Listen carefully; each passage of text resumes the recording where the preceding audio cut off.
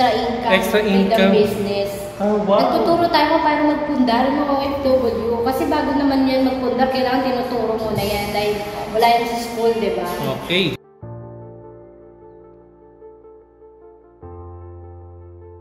Ilan taon niya? Seven? Seven years. Seven years.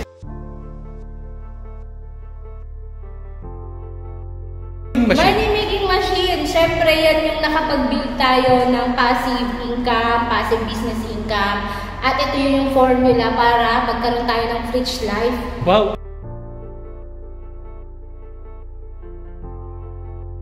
Aabot yan. Apat po. Meron tayo sa Alabang, meron tayo sa ayan, Baguio, may sa Cavite. Yun.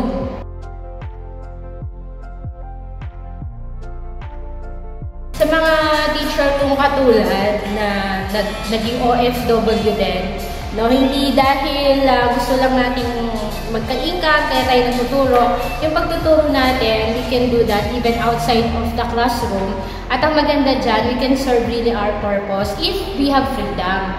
No, yung makapagturo tayo ng free, napakasarap sa pakiramdam yun na hindi dahil sa salary. So, paano natin siya magagawa? So, we need to educate ourselves as well. Even teacher ka na, you have to educate yourself para magkaroon tayo ng freedom dahil hindi naman na kasama yan sa napag-aralan natin din. So, as a teacher, meron tayong accountability din for the next generation na matutunan din nila kung paano na, na din sila magiging successful in life. So, yun yun. Sa mga teachers, sa, hindi lang siya subject-based, kundi syempre yung practical life living, maituro din natin sa mga estudyante natin.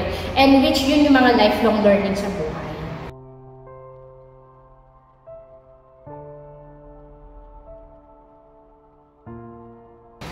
Wow!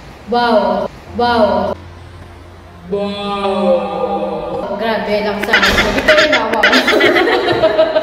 yung mga malalaki sweldo, kayo yung uh, ano ba yun, pinagpala sa mga nagtatrabaho.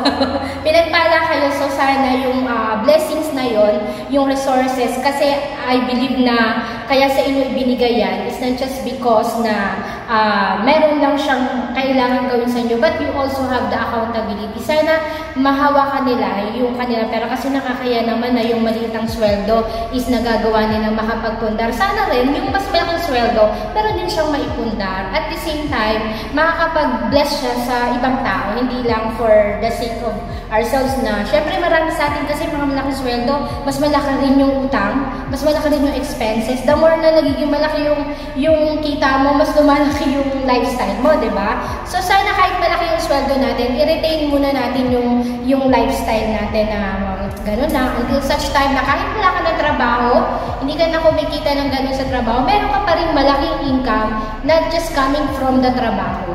Yun.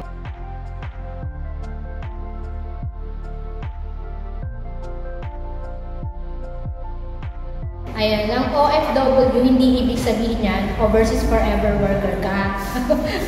hindi rin yan overseas uh, fatigue worker. So, ang pagiging OFW dapat, OF for, ano ka, forever winner. Wow. So, para, ano, yung, yung, yung pagiging OFW natin, may, may hangganan niya, wag mo siyang gawing cycle. Wag natin siyang ipamana. Ang ipamana natin is yung, yung ating next generation ay, uh, may freedom. Freedom to choose kung ano yung buhay na gusto nila to serve others. So, sana lang uh, yung mga papunta at uh, nandito sa abroad, so maximize natin yung time natin. Huwag natin hayaan na yung mga dating rosas maging pasas. no? Para pag uwi naman natin, aga-agahan naman natin para ma-enjoy pa natin yung blessings ni Lord tsaka yung mga families natin sa Pilipinas. Ay.